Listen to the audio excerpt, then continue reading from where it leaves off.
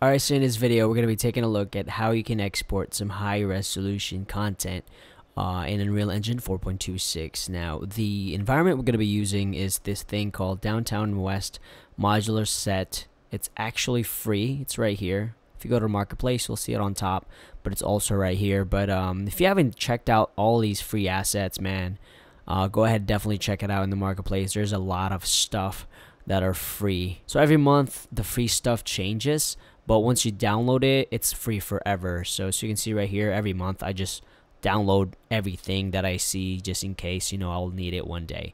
Uh, that being said let's go ahead and I have the um, asset right here open already.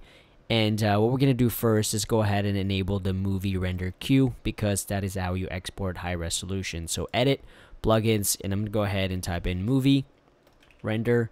I have the render queue enabled I have the additional render passes enabled as well. So go ahead and enable those and restart your Unreal Engine 4. So to save some time, I went ahead and enabled it. So let's go ahead and get started. Um, if you are getting this error right here, texture streaming pool over size, uh, go ahead and go to your window, developer tool, and go to your output log and it should pop up right here. It's kind of like your command line. And after that, you just type in pool size and you should see streaming pool size enter and you're going to see it's only 1000 megabytes so we're going to increase that to something like 20 20,000 and that error message should go away.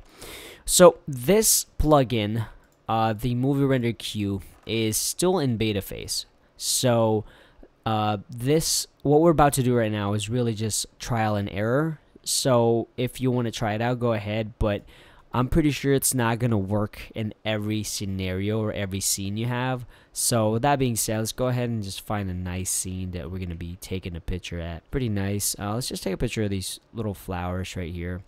This looks really cool, this environment here. So uh, what we're going to do is actually create a new sequence. So add level sequence. I'm just going to I'm just going to go ahead and leave that as default.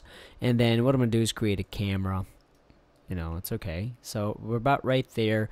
And if you want to check your focus plane, you can click on the camera and you can go to lens focus, actually focus settings. You can click on focus plane right here and you can actually see where your focus is.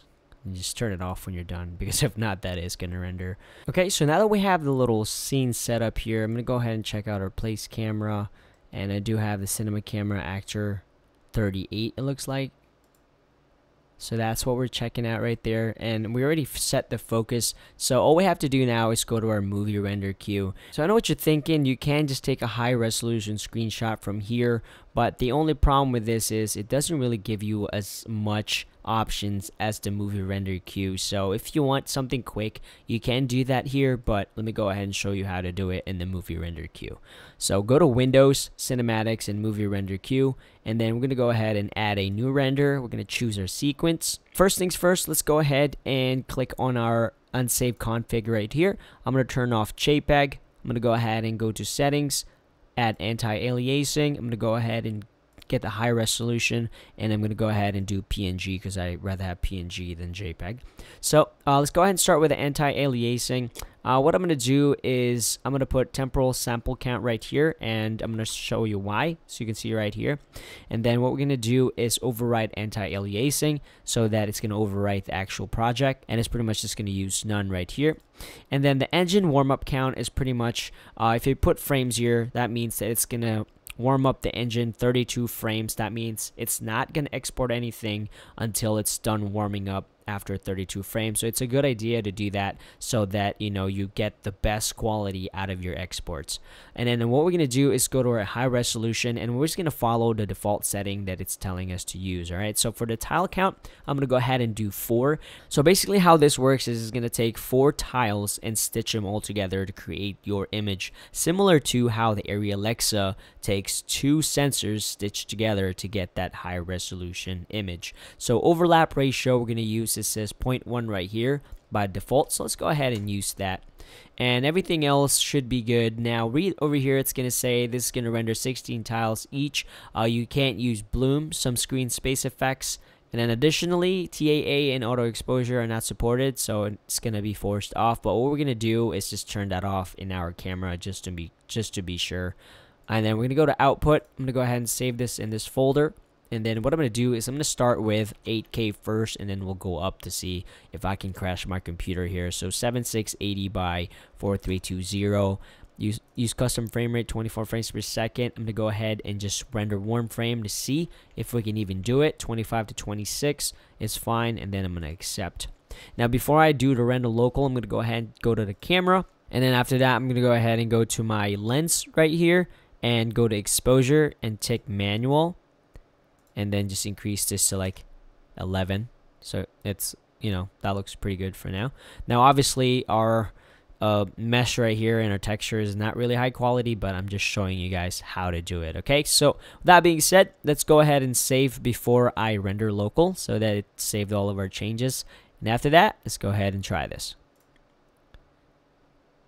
Alright, so you can see right here, engine warm-up frame is 32 frames, so it's warming up before it actually exports an image. So after this is done, you're going to see something pop up here.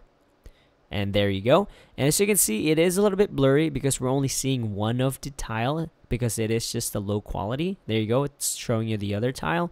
So after this is done right here, you should be getting our final image. There you go. No error messages. So if we go to our folder, I'm going to go ahead and open this in Photoshop. Okay, so in Photoshop, as you can see, it looks pretty nice. Look at that nice bokeh. So obviously it is flat, so you have to convert it. But as you can see, it's nice. You have that 8K, and like I said, the texture is really not that great. But man, that looks really good. You know, it's so, ugh, it's pretty high quality. If you had better textures, it would look better. It would look more photorealistic.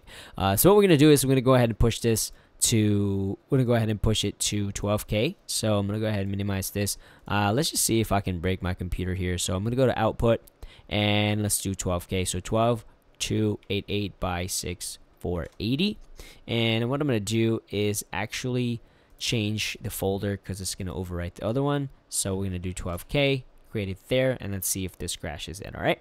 So accept and then render local Alright guys, so I actually had to pause the recording because it was taking a little bit longer than our 8K render. So let's go ahead and check it out in Photoshop.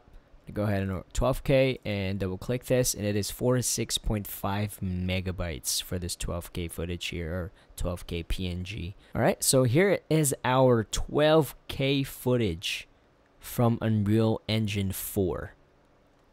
That, oh man, that's crazy.